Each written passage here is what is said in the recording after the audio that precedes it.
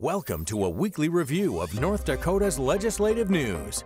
Now, here's your host, Dave Thompson, with North Dakota Legislative Review.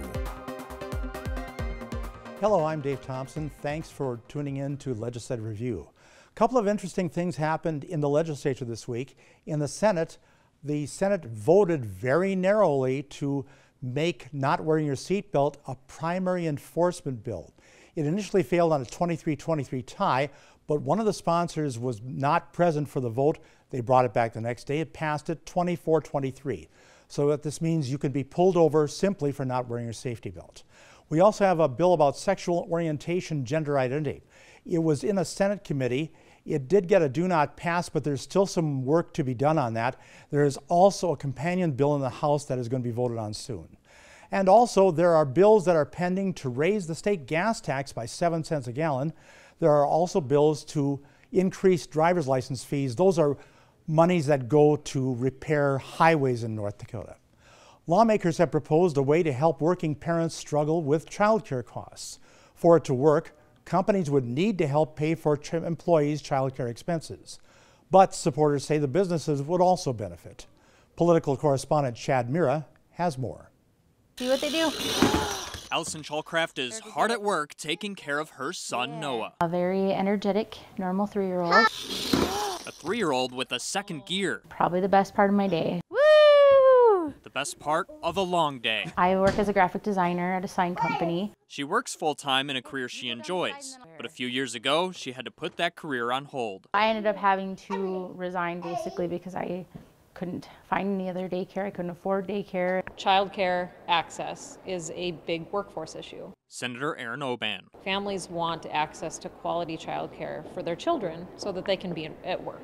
Statistics show it is a workforce issue. A study from Harvard published last year says 32% of employees who were considered caregivers left a job because of childcare issues employees like Shallcraft who switched companies and dropped to part time. For that whole year, I wasn't doing what I went to school for and what I initially wanted to uh, do with the, re- my, the rest of my life. So Senator Oban co-sponsored a bill that would give tax credits to companies that reimburse employees for child care costs. She said it helps the parents, but also the companies attract or retain good employees. Rick Clayburgh with the North Dakota Bankers Association testified in support of the bill. If you go to a community looking for a job, you find an opportunity, but if you see that child care is not available, uh, it, you just may not give that community a second look. For Shallcraft, a benefit like that would mean a lot. Not only, you know, money wise, but it would just really help out just knowing that they're understanding of being a parent. And all the work that goes with it. And joining us now is the new House Majority Leader, Representative Chet Pollert from Carrington. Thank you for being here. Hi, David. I just have to ask you the question why did you want to become the Majority Leader? You know, I've been uh, a legislator since I got elected first in 1998 and kind of worked my way through the policy committees, ended up on appropriations, and, you know, all of us want to be in, involved. And I've always had an interest in, in public service, and I thought, okay, as I got older, I thought I had the experience, and I thought I would uh, throw my hat in the ring against three of us, and I'm the one that ended up being the majority leader, so yeah. Is the job what you expected it to be? I'd say it's a lot busier. Uh, the, my phone rings a lot more often. I have a lot of people that want to spend time visiting with me. Uh, you know, and we, it's all about budgets, it's all about bills, which certain people want, and then I'll have people come in, citizens come in, and want to talk about particular issues, very wide ranging. You know? As a leader, then you've, you've got a lot of responsibility. You have to, as they say, make sure the trains run on time, perhaps. Well, you know, I think that's part of, of, of one of the functions uh, of the majority leader is to have things roll. You know, uh, uh, on the House floor, the, the speaker is running how the details all work out, but uh, the assistant majority leader, Scott Louser, and myself were making sure if there's bills re referred or if there's motions on the floor and if there's certain things co uh, coming up, you know, uh, it's a little different. Legislators are all busy. It's a very busy time when you try to fit this stuff in into 75 or, or 80 days. Hopefully it'll be 72 to, to 75. So the legislators are busy. And now with this, it's, it's a different role for me and now I've got a couple staff and I have to have a schedule and, and people will line up for appointments. So it's different than what I'd done before, but I'm enjoying it. Well, that's good to know you're enjoying it. Uh, you, you've been on appropriations for a couple of sessions. You chaired one of the three subcommittees of appropriations. Uh, is this harder? Yes. harder and, and busier. Okay. Uh, it, it, it, it's different because I, I chaired the HR, the Human Resources section of House Appropriations for six sessions, and then I, I was a vice chair the time before that, and then I spent three sessions in the Human Services A Committee, and then time in the B committees of the House Ag and the House Transportation. So it's just one of those things that evolved. And there you're listening to budgets, you're listening to bills, they're all dealing with money, but they all got subject matter that are important, whether it's like the Anne Carlsen Center in Jamestown or dealing with, with nursing homes and the DHS budget or, or the developmentally disabled. We spent a lot of time. You know, I dealt with the health department, health, uh, the Department of Cor Corrections, part of when the state penitentiary went through their big remodel.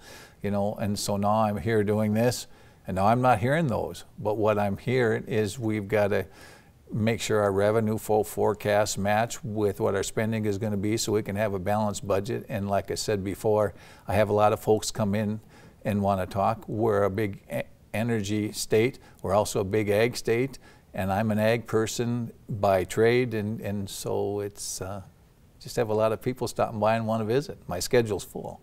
You know, one of the things that, you, one of the big issues that you have in the House is this Prairie Dog bill, Operation Prairie Dog, to create a permanent infrastructure fund. Uh, House got it first. You're, you're not, it's not out of committee yet. Where are you at? As far as how the bill is, is coming, Dave, you mean? Yeah. You. Okay, well, you know, it, it, was heard in House Finance and Taxation. Uh, Representative Craig Hedlund is the chair of that committee, so they heard the bill and and there is, I think it was almost a full day at, or two thirds of a day of, of, hearing and testimony.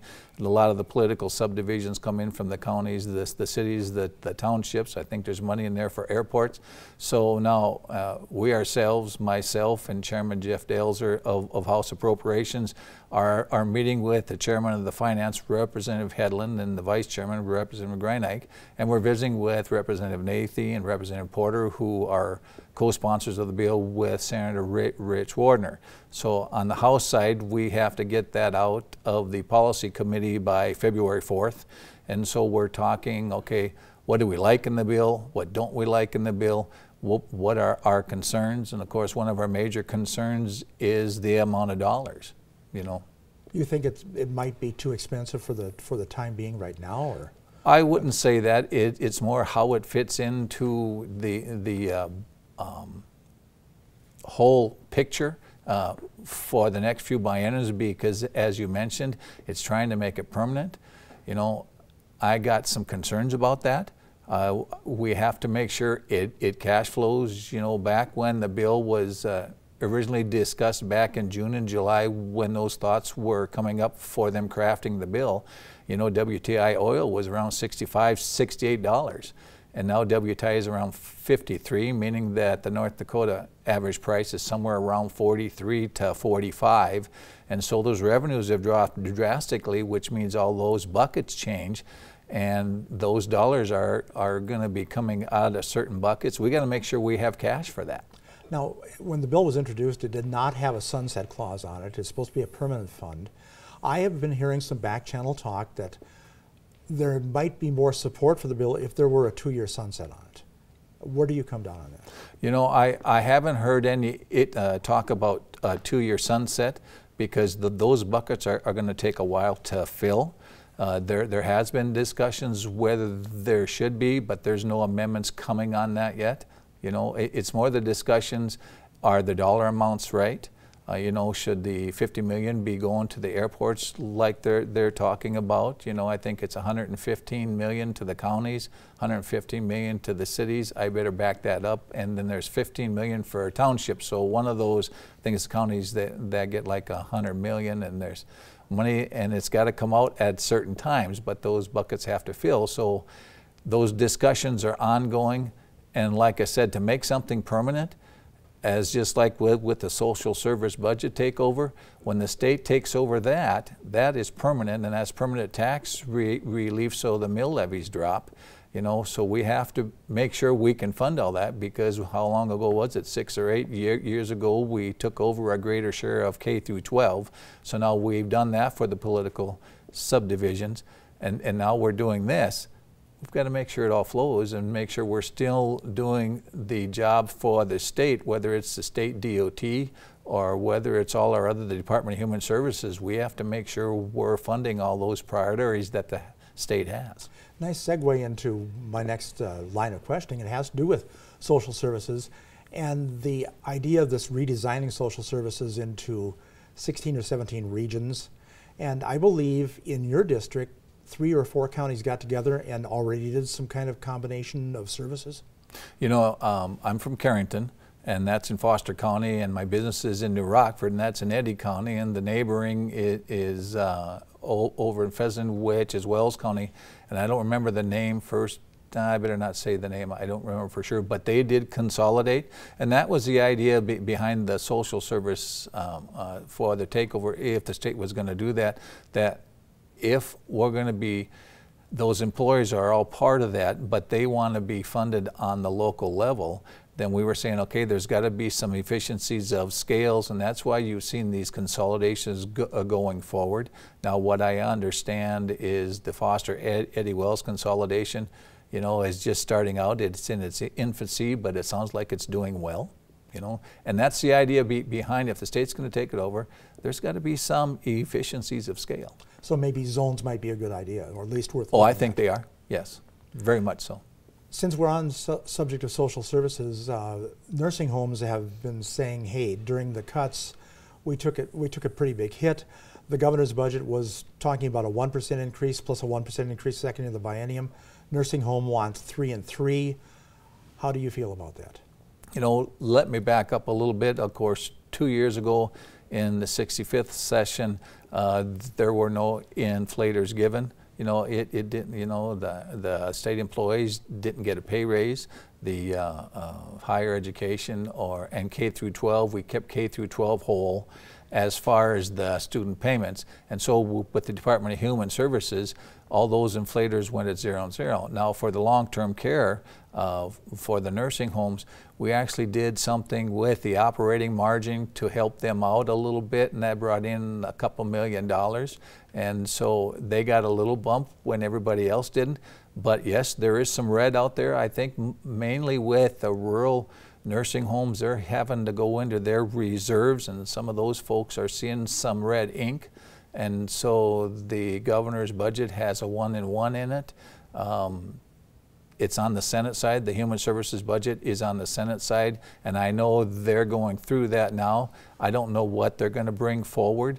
You know, it'll it be a two and two or a three and three until we see what, what the Senate does? Uh, we'll have to see what happens there first and then take it from there. You also mentioned state employees, and there seems to be bipartisan agreement that state employees need a raise. And there are proposals from a one and one to a two and two, a two and four. Where do you come down?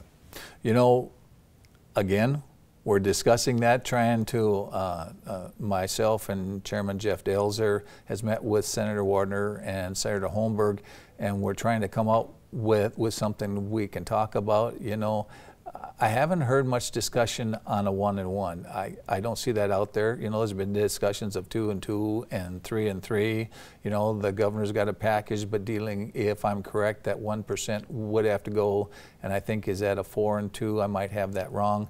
You know, so there's a number of scenarios, and so we're discussing those to see how those all come down into the package because we're not talking no total bill here of five or ten million dollars. We're talking, you know, a two and two general fund wise is darn close to thirty million dollars. So we're trying to come out with a package that we think is fair, and and also dealing with the. Uh, um, health benefits, you know, and, and the health insurance. Uh, that is up drastically again, and so we have to decide, do we stay on the same plan? I think the governor has got uh, uh, three proposals for insurance, so those decisions are being discussed right now and nothing specifically yet, but that will be done shortly. since we talked about the governor's budget, there's one thing I, I'm curious how, how what you're hearing about the Theodore Roosevelt uh, Library and Museum proposed for Medora. He's taking he would like to take money, fifty million dollars out of the earnings of the legacy fund. There's already some murmuring pushback. Well, I'll put it that way, because I've heard legislators say out loud that that might be a step too far. Hmm.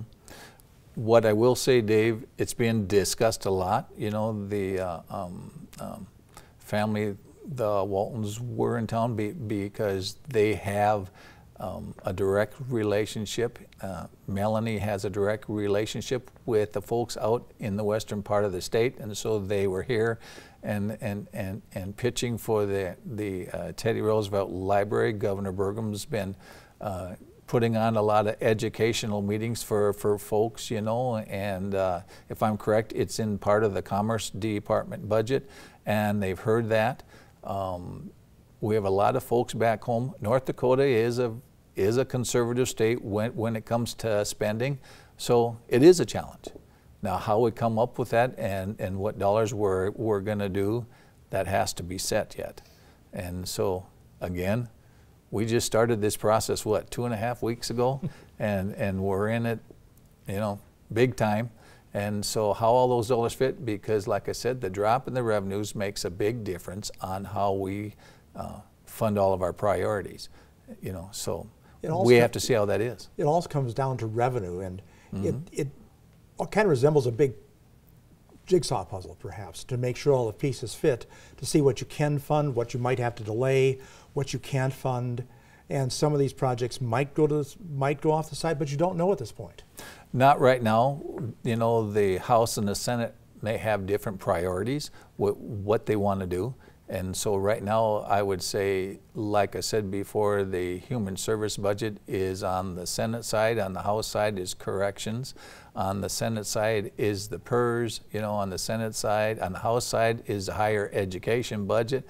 You know, so so there's everything on each side. So we're doing our work, and of course at crossover it'll flip over, and then everybody will see what the priorities. You know, we we did the legislative forecast, and and we had the folks from oil and gas come in because you know oil is a huge part of our revenue projections, and and so at that time, you know, the the last two months oil's been down, and so we're very cognizant when the uh, folks from, from Moody's came in and the folks from uh, IHS come in, they had similar but different forecasts. And so we kind of did a middle of, of the stream and figured oil at 42 and a half, which is a mix between Flint Hills and West Texas Intermediate. And then uh, we have the uh, uh, production at 1.35 million, you know, so that's around $4 billion. But then you We've got all these political subdivisions that get a portion of that, and then some of that goes in, into the Resources Trust Fund, which depends on uh, all, all the water, you know. So there's a lot of priorities. What's important for Fargo, of course, would probably be the FM di diversion. We also know that we got to start thinking of getting water to the Red River Valley, you know, so those discussions are going on. You know, you, you can look at, at uh, Western North Dakota. They want to make sure they have their, their, their road money. We have to make sure we have gas line production going on. So uh, the wants and needs, which are similar but different, are more than what we have right now. And we have to make sure we have that balancing act for that. So there will be priorities set. Some things on the House side will be more important than on the Senate side, but somewhere around the 70th or 75th day, we're going to have that figured out. Very quick answer. Are you going to be able to keep some days in reserve if you need them? That's my intention. Yeah, and I've talked to Senator Wardner as well, and Senator Wardner feels the same way as well. And basically, the whole House and Senate feel that way too. Okay. Thank you very much. Our guest today is the new House Majority Leader, Chet Pollert. He's from Carrington, North Dakota. Suicide is the second leading cause of death for people who are 15 to 24, and North Dakota's suicide rate has been steadily increasing. Our political correspondent Chad Mira talked with Senate Minority Leader Senator Joan Heckaman earlier this week about a bill that would require students to learn more about suicide prevention. This legislative session, we've already heard a lot about school safety and specifically behavioral health, and it's a topic that will certainly be discussed throughout the upcoming weeks. I'm joined now by Senate Minority Leader Senator Joan Heckaman. Senator Heckaman, thanks for being here. Thanks for having me. Glad to be here. You guys have a bill focused on behavioral health as well as teen suicide. Tell us what's in this bill that could help keep our students safe in the future. Sure. This is a student-driven uh, bill um, that came to my attention um, right now what we uh, have is we have instruction and uh, professional development opportunities in our schools for teachers, staff, administrators, but we don't specify anything in code um, for students. And the student that brought this bill forward did a great job of presenting and laid her story out for all of us to hear. Her concern is that students in schools do not have a required number of hours or minutes, um, that they can learn about suicide, uh, about signs of it, um, where to go for help, uh, and those kinds of things. So the bill basically does a few things. Uh, first of all, it would require three hours of instruction per semester, and that could be uh, for grades 7 through 12, and that could be a variety of uh, instructional methods, uh, whether it's direct instruction, whether it's watching a video, whether it's interacting with a counselor. Um, it requires all schools to have a counselor, and we already do that, so the student wasn't quite aware of that situation, but it's um, something that we have in the bill. And then it would also require every school to identify a first responder. In other words, someone that students can go to if they're having a bad day, feeling suicidal, or having under feelings that they don't quite understand. Um, so looking at the, the main part of the bill is the three hours per semester of um, suicide awareness. We already do a few things for our schools across the state of North Dakota, but I think that this would be a step in the right direction of making sure that um, what we have is for the students. So. How important is it uh, to be able to kind of spot some warning signs if we can see our own peers and, and know that maybe they need help? How key is that to helping people in need? I think that that's one of the reasons that the student brought this forward is because um, in her past and in her life so far, nobody's been available to help her with those signs that she had. Um, and the other issue that we talked about when she presented in committee is that in a rural area, um, her closest services were an hour away from her home and her school. So it meant time off of school for her to get those kinds of services. So we have to do a, a better job in North Dakota of providing behavioral health services to our students in school. And it's really interesting, a student has been helping you uh, come up with this bill, generate these ideas. What kind of impact does that have on you as a lawmaker when someone so young comes to you with an idea like this? Well, it was it was very um, traumatic for um, the committee to hear her testimony because it is very uh, devastating for her to hear what's happened in her life, and we haven't been there responding. So I think it's a wake-up call for us that we're not doing our job here in the state of North Dakota as legislators in providing those services out there to our students. So hopefully that this can be meshed into some other uh, initiatives that are currently um, in the House and the Senate, and we have one broad uh, encompassing umbrella for those students and for the safety of uh, for theirs. But I think one of the bigger things is to know that we are not um, having services close to any of our students in the rural areas. They have to travel for those, and that's that's troublesome for me too. We should be able to have somebody in the school connected. Um, and um, that may be a job for our rural education associations to look at because they were developed to provide services for low incident populations in our districts and this may just be a perfect fit for our rural education associations to provide some support. Okay, Senator Heckaman, thanks for your time. Thank you. Dave? Well, Chad Mira joins me on set now. And Chad, what are you looking at this upcoming week or two? Well, let's start with in, in talking about uh, raises for state employees. I know it's something you just discussed with Representative Pollert. Uh, you know, the good news for state employees, it seems like a lot of people agree they should get a raise this biennium. However, we have seen already at least a few different proposals. The governor came out with his budget proposal initially saying there should be a, a 4% increase the first year and then another 2 to 4% the year after that. The Republican Party and the Democratic Party both have their own proposals as well. The Democrats want to give initially a, a, about $300 per month for that first year and then a, another raise the year after that as well. So we'll have to see where it all falls, you know, how, how the, all the sides can come to agreement because like Representative Pollert said earlier, we're talking a lot of money here. And sources are telling me that we could see a floor vote on one of the bills about sexual orientation discrimination. That's probably coming up perhaps as early as Wednesday. That's one to take a look at too. Yeah, that's a really interesting one because it, it had a committee hearing this past week and, and got a do not pass recommendation. This is a bill that would prohibit discrimination against sexual orientation as well as gender identity. However, the lawmakers have already said we're going to look at this bill, we're going to make some changes, and we're going to consider it again. So it is definitely going to come up, and like you said, we're expecting that to happen this upcoming week. And here's one thing that I'm kind of looking at. It's actually coming up in two weeks. There will be a hearing on Senator Wardner's bill to actually do some bonding for that hasn't happened for a while since the state's been awash in oil money. He's going to suggest bonding for a few buildings on campuses. Very interesting. Uh, school funding is going to be a, a big hot button issue. a lot of studies going on, so even Minot State looking at privatizing Minot State, uh, how that would impact the state. So we'll see how that has how that, how that all shakes out. That is going to be an interesting discussion when that gets to the floor, Mhm. I'm pretty sure. Oh, yeah. And then one other thing that I think should be coming out fairly soon will be how IT consolidation is going to go. You know, all IT departments Mhm. being consolidated.